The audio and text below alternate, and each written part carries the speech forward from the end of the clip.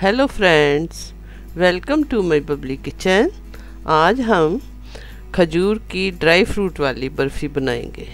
चलिए देखते हैं इसको हम कैसे बनाते हैं। खजूर की बर्फ़ी बनाने के लिए हमने 400 ग्राम खजूर ली है। ये सीडलेस खजूर है हमारी। 50 ग्राम हमने काजू लिए हैं। काजू को हमने इस तरह से बारीक बारीक काट लिया है। 50 ग्राम हमने बादाम लिए हैं। बादाम को भी छोटे छोटे पीसेस में काट लिया है। आधा चम्मच छोटी इलाची का पाउडर और चार छोटे चम्मच खसखस के और दो चम्मच हमने पिस्ता लिया है। दो चम्मच हम भर के देसी घी डालेंगे। अब हम खजूरों को अच्छी तरह से एक बार खोल के देख लेंगे। साफ़ करके देख लें, अच्छी तरह से साफ़ करेंगे कि इसमें से कोई तिनका या कोई गिटक वगैरह कोई रह गई हो। वैसे तो गुटली वैसे तो ये सीडलेस है, लेकिन फिर भी हमें इसको चेक करना है कि कहीं कोई गुटली तो नहीं रह गई है अंदर, या फिर कोई तिनका हो या कुछ सफ़ा, साफ़ कर लेंगे अच्छी तरह से। चक्कू की सहायता से एक तो इसके हम पीसीस भी काट लेंगे छोटे छोटे ताकि इसको हमें ग्राइंड करने में आसानी हो, और साथ में हम इसको चेक भी कर लेंगे कि इसके अंदर कोई गुटली ना हो, और ये अंदर से उसका कुछ वुडी पार्ट होता है, कई बार वो भी रह जाता है। इस तरह से इसके छोटे छोटे पीस काट लेंगे। और आपने जब भी खजूर लेनी है, थोड़ी आपने आपने जो खजूर लेनी है, उसको चेक कर ले। ये थोड़ी गीली हो, थोड़ी मतलब इसके अंदर थोड़ा सा गुद्दा ज़्यादा हो। ड्राई नहीं होनी चाहिए, नहीं तो वो ग्राइंड होने में थोड़ा मुश्किल लगेंगी। ये देखिए, इसमें से फिर भी हमारी एक आधी गुटली निकल ही आई है। इस तरह से सारी साफ़ भी हो जाएँगी और इनके छोटे छोटे पीसेस भी आप काट लो। सर्दियों में जो गीली वाली खजूर आती हैं, वो लेनी है आपने बस इस तरह से हम इनको सबको साफ़ भी कर लेंगे और छोटा छोटा काट लेंगे। अब हम एक मिक्सिंग जार लेंगे, उसके अंदर इसको डाल के ग्राइंड करेंगे। और ग्राइंड करने के लिए हम इसको धीरे धीरे रुक रुक के दो तीन बार करेंगे और साथ साथ में चम्मच से इसको हिलाते रहे, ऊपर नीचे करेंगे, ताकि वो सारी साइड से अच्छी तरह से ग्राइंड हो जाए। ये हमारी पेस्ट बन के खजूर की देखिए, तैयार हो गई है। दरदरी पेस्ट बनी है ये। अब हम एक नॉन स्टिक पैन या कढ़ाई लेंगे और उसके अंदर हम सबसे पहले जो हमने पॉपी सीड्स ली थी, खसखस, उसको हम ड्राई रोस्ट करेंगे। थोड़ी देर ये इसको हमने ड्राई रोस्ट करना है। चार चम्मच हमने लिए हैं, छोटे चार चम्मच। कलर चेंज होने लग गया थोड़ा सा और हल्का सा ब्राउनिश होना शुरू हो गया। अब इसको हम निकाल लेंगे। अब हम कढ़ाई में आधा चम्मच घी डालेंगे और उसके अंदर हम बादाम, काजू और पिस्ते को रोस्ट कर लेंगे। एक मिनट इसको भी रोस्ट करेंगे, ज़्यादा नहीं हमने करना इसको। थोड़ा सा हम पिस्ता अपना गार्निश करने के लिए रख लेंगे। पिस्ता और खसखस थोड़ी सी हमने रख लेनी है, उसको बाद में हम गार्निश करेंगे। एक मिनट हमने इसको भूनना है। इसको भी ज़्यादा देर नहीं भूनना, हमने सिर्फ़ इसका मॉइस्चर निकलेगा। जैसे ही कलर चेंज होने लगे, आप इसको निकाल लें। अब हम दो चम्मच देसी घी डाल देंगे और घी डाल के इसके अंदर जो खजूर की पेस्ट है, उसको थोड़ा सा भूनेंगे। अब इसके अंदर सारी खजूर की पेस्ट डाल देंगे और इसको भून लेंगे। ये थोड़ा सा स्टिक्की है। पेस्ट जो होती है, वो स्टिक्की होती है। इसको ज़रा थोड़ा सा आपको पहले दम लगाना पड़ेगा। भून ले सारी साइड से इसको। और नॉन स्टिक कढ़ाई लेंगे तो ज़्यादा अच्छा है, नहीं तो ये सारा चिपक जाएगी कढ़ाई के साथ, दूसरी कढ़ाई में। ये देखिए, इसको अच्छी तरह से आप ऊपर नीचे करके इसको भून लें अच्छी तरह से। ये देखिए, इसका कलर भी चेंज हो गया है अब।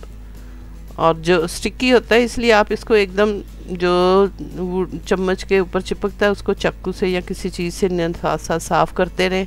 और ये देखिए, हमारा इसका कलर चेंज हो गया अब। पाँच सात मिनट इसको आप भून लें। थोड़ा सॉफ्ट हो गई है अब ये, अब हम इसके अंदर ड्राई फ्रूट डाल देंगे। ये ड्राई फ्रूट डाल के इसको मिक्स कर लें सारा। आपको इस तरह से ही चम्मच उलट पलट करके इसको मिक्स करना है। ये हमने छोटी इलाची का पाउडर डाल देना है और खसखस डाल देंगे। थोड़ी सी खसखस हम रख लेंगे अपने गार्निश करने के लिए। अब इसको अच्छी तरह से चम्मच से आप मिक्स कर लें ये। इसको ऊपर नीचे करके सारा साइड सारा ड्राई फ्रूट इसके अंदर मिक्स कर दें। जितना ड्राई फ्रूट आप डालोगे, उतना ही इसका स्वाद आएगा। अच्छा। और अब इसको हम एक प्लेट के अंदर रख लेंगे थोड़ा सा ठंडा होने के लिए। बहुत ज़्यादा भी नहीं हमने करना इसको, पर थोड़ा ठंडा हो जाए ताकि हम इसको टच अच्छी तरह से कर सकें। एक प्लेट में निकाल लेंगे। इस तरह प्लेट में निकाल लें और हाथ को थोड़ा सा ग्रीस कर लें ताकि हाथों में ये चिपके ना। अभी गर्म है बहुत ज़्यादा और इस तरह से इसको थोड़ा सा अच्छी तरह से हाथ से दबा दबा के इसको मिक्स कर लें और इसको उलट पलट करके एक बार थोड़ा ठंडा कर लें। देखिए, थोड़ा ठंडा अगर हो गया है तो इसके दो पार्ट कर लो आप। एक चॉपिंग बोर्ड ले लें, उसको थोड़ा सा घी से ग्रीस कर लें या किसी भी आप चकले पे भी कर सकते हो, किसी भी आप चीज़ जो प्लेन सरफेस होना चाहिए कोई। इसके दो पार्ट कर लें और दो पार्ट करके इनका एक रोल बना लें। इसी तरह से आप दोनों रोल बना के रख लें। ये आपके दोनों रोल बन के तैयार हो गए हैं। दो रोल बन के तैयार हो गए। अब हम चॉपिंग बोर्ड पे थोड़ा सा पिस्ता और खसखस को फैला देंगे और इसको गार्निश कर लेंगे। सारी साइड पे इसको रोल करके इस पर चिपका लें। इसी तरह से हम दूसरे रोल को भी तैयार कर लेंगे। देखिए कितना अच्छा लग रहा है, इतनी अच्छी शाइनिंग आ रही है इसकी।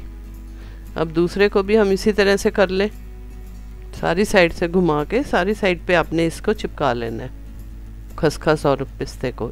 देखिए दोनों रोल हमारे तैयार हो गए हैं और कितनी बढ़िया लग रहा है शाइनिंग आ रही है कितनी इसकी। अब हम एक सिल्वर फॉइल ले लेंगे। और इसके अंदर इसको रैप करके पैक कर लेंगे इसको।